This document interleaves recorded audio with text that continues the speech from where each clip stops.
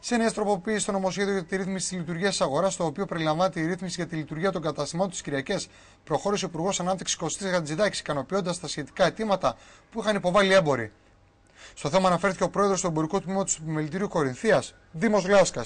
Η κυριότερη αλλαγή στο νομοσχέδιο που συζητείται είναι η δυνατότητα να δίνει τους αντιπεριφερειάρχες να αποφασίσουν όχι μόνο για τον αριθμό των Κυριακών που θα μπορούν να λειτουργήσουν στα καταστήματα, αλλά και τις περιοχές στις οποίες θα ισχύει η απελευθέρωση λαμβάνοντας υπόψη τις τοπικές ιδιαιτερότητες και τη λειτουργία των καταστημάτων στις τουριστικές και μη περιοχές.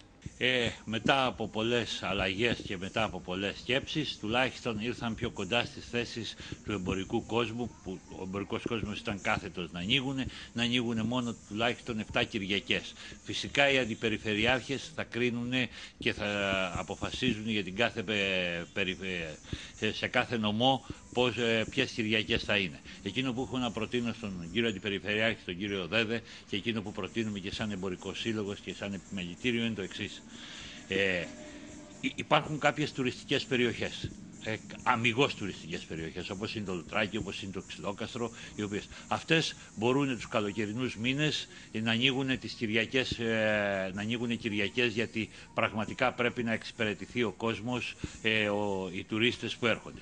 Για τις άλλες περιοχές και για τις άλλες πόλεις όπως είναι η Κόρινθος, όπως είναι το Χιλιομόδιο, όπως είναι η Νεμαία, όπως είναι και το Κιάτο πιστεύω, ε, το μίνιμουμ που είναι οι 7 Κυριακές που είναι υποχρεωτικά από τον νόμο να ανοίγουν. Τίποτα παραπάνω. Δεν χρειάζεται τίποτα παραπάνω διότι περιτά έξοδα θα είναι ε, για τα καταστήματα χωρίς επιπλέον όφελος και ας λένε το οποιοδήποτε όφελος, δεν ξέρω πού το βλέπουν αυτοί το όφελος.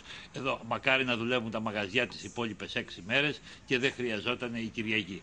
Αλλά αφού το επιβάλλει ο νόμος, ο κύριος Αντιπεριφερειάρχης θα πρέπει ρητά τις 7 μόνο Κυριακές το χρόνο που είναι οι συγκεκριμένες Κυριακές κατά το διάστημα των εκτόσεων και κατά το διάστημα των εορτών των Χριστουγέννων και του Πάσχα.